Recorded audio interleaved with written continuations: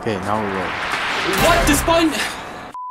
What? The chef betrayed the spy ninjas? Hello YouTube. In today's video, I usually am going to be talking about how the chef actually betrayed the spy ninjas in their newest vlog. By the way, if you're new to this channel, don't forget to subscribe, like this video, and check out the second channel. Thank you very much. People, in the spy ninjas newest video, the spy ninjas get locked up in an escape room.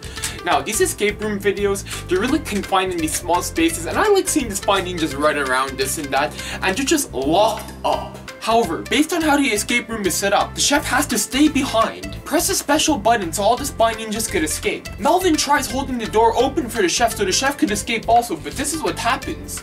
Rule it. Come on, Chef! Chef! Open it! Open it! Chef!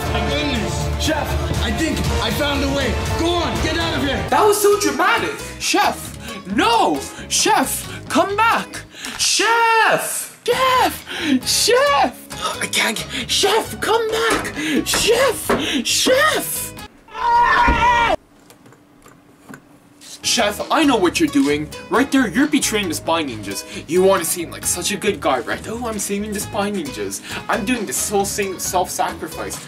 But I read you like a book, like a dictionary. I read you like the Spy Ninja Mission Kit manual, chef. You know, I know what your plan is. You let the spy ninjas escape, quote unquote.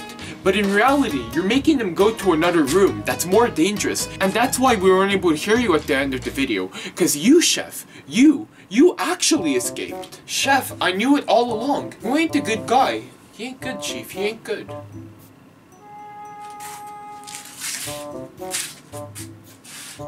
He's not good. He's not good. There's still a lot of confusion. Is the chef innocent? Is he not? Did they take a guilty man out of prison? Are they working with undercover stalker people? There's too many questions. But it's just fishy to me that the chef was doing all this battle royale and all these fishy things to the spy ninjas, and all of a sudden the spy ninjas are like, oh, he's good. Yo, I know what happened. The chef who was locked up for no reason was saved, but he still has remorse towards the spy ninjas for locking him up for no reason. So this is why now he's tricking the spy ninjas to a more dangerous spot and he's saving himself. Why am I so smart? That's what happened, people. It's not the chef that's good, he just did a human reaction. And because of that, he betrayed the spy ninjas, unfortunately. Anyways, thank you for watching today's video. If you enjoyed, consider checking out the channel and subscribing to it for more content. Have a nice day, see you in the next video, and goodbye.